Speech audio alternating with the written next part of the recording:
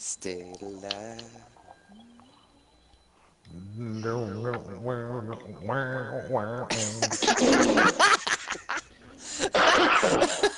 don't remember That's the that. in fucking remix.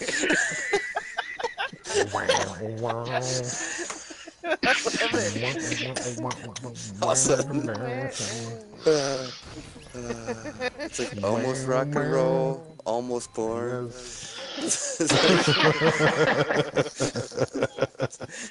Jazzy.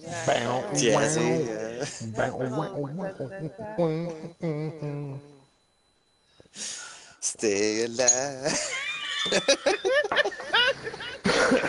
I'm never gonna be able to look that song now.